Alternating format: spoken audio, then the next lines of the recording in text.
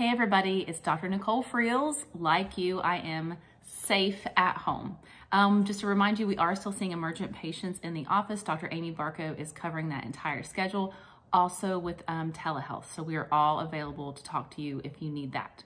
Um, so I really want to do this video because I know you're all at home running around, probably barefoot in the house, and that's a big trigger for plantar fasciitis. So today I want to go over a couple uh, just home remedies that you can do to make sure that you're not getting flare-ups while you're at home.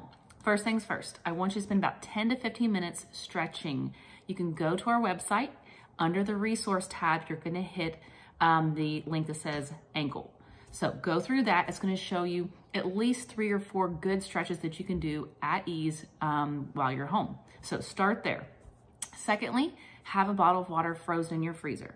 Pull out the ice uh, a couple times a day um, and then just roll it on the bottom of your foot. That ice is really gonna help reduce the inflammation that's occurring in the plantar fascia, which is at the bottom of the heel.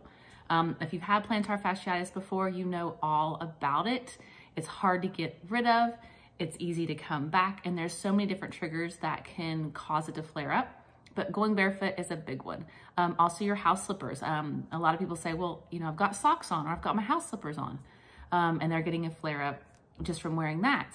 Well, that's not really a shoe. That's something that you wanna wear whenever you're sitting down, you know, relaxing. But if you're gonna be up in the house, I mean, which a lot of us are doing our chores, getting everything organized, you really wanna put your tennis shoe on. And if you have your orthotic, go ahead and slide that in there. Or if you have a good, um, you know, over the counter, such as footsteps, or a lot of people have power steps, um, that's gonna give you some really good arch support. So after icing, if you have any um, anti-inflammatories such as ibuprofen, if it's still bothering you, you can take maybe one in the morning, one at night. Make sure you take it with a little bit of food so you don't get any stomach irritation. And if you find that you're taking it over and over, go ahead and call Dr. Barco at the office. She's there to give you some additional tips and then probably prescribe you something that's gonna be a little stronger, such as an uh, anti-inflammatory or even a steroid.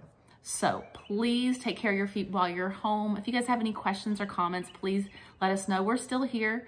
Um, it's unique and new for all of us. So anyway, give us a call at the office. Um, otherwise, thanks for watching the video. And if there's any others you want to see, just let me know. All right, I'll see you soon.